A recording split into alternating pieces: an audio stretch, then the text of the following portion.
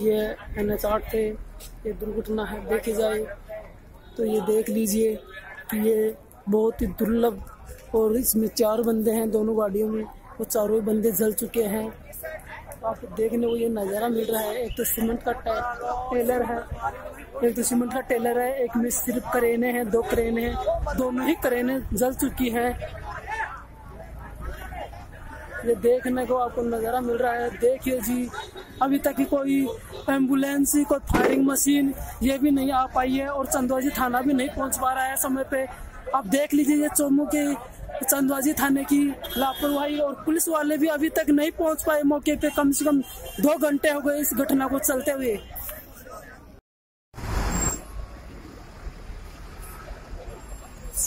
ये देखो चार घंटे बाद में अब दमकल पहुँचे हैं यहाँ पे। आपको देखने को ये नज़ारा मिल रहा है। चार घंटे बाद में चार घंटे के अंदर तो आदमी जल चुके बहुत कुछ हो जाता है।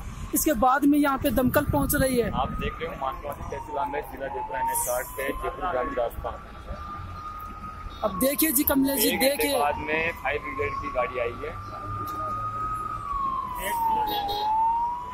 पता नहीं कि सर। कितने आदमी ज़िंदा जले हैं कितने बचे हैं।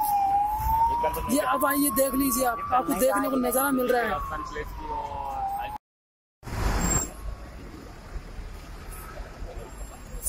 ये देखो, चार घंटे बाद में अब दमकल पहुँचे यहाँ पे। आपको देखने को ये नज़ारा मिल रहा है। चार घंटे बाद में, चार घंटे के अंदर तो आदमी जल चुके बहुत कुछ हो जाता है। इसके बाद में यहाँ पे दमकल पहुँच रही है। आप देख रहे हो मानवासी तहसील आमेर जिला जयपुर अब देखिए जी कमलेश जी देखिए बाद में फाइव ब्रिगेड की गाड़ी आई है पता नहीं। कितने आदमी ज़िंदा चले हैं। ये तो अब आइए देख लीजिए आप आपको देखने को नज़ारा मिल रहा है